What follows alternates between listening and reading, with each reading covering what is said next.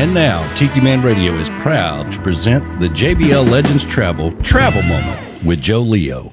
Take it away, Joe. Good morning, everybody. It's Joe Leo with the JBL Legends Travel Group with this week's Travel Minute. And uh, today I want to talk about Italy. Well, I'm going to talk about Europe vacations, but we're going to center it on Italy today to make it easy. Um, we're getting a lot of calls uh, for uh, vacations in Italy, and people ask me all the time, you know, what's enough time? Is it seven days, 10 days? Yeah, seven to 10 days is probably going to be the best, depending upon where you want to go. Now, let me explain that.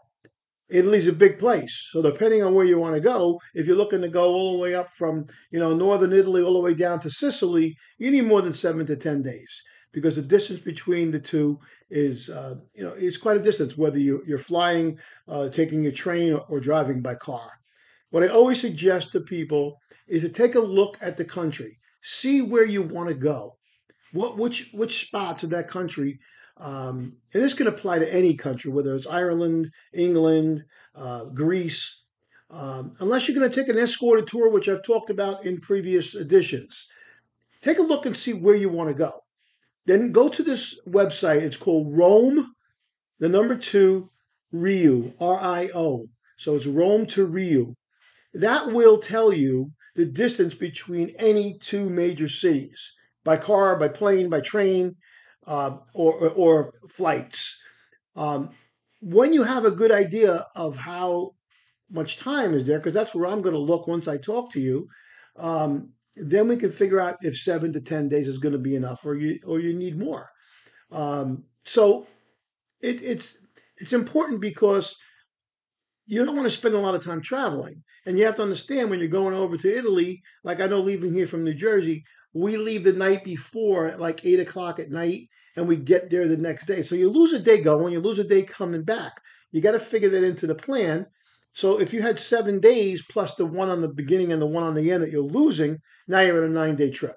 So just take a look at where it is you want to go, see which sites you want to see. Now, most of the major airports there are going to be Naples and, and, and Rome.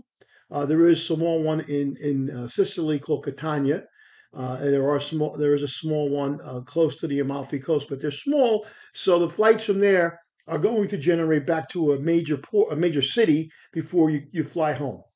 So be you know be cautious of, of what you want to do. I know everybody goes, oh, I want to go to Italy. I want to see the whole thing. You're not going to see the whole thing.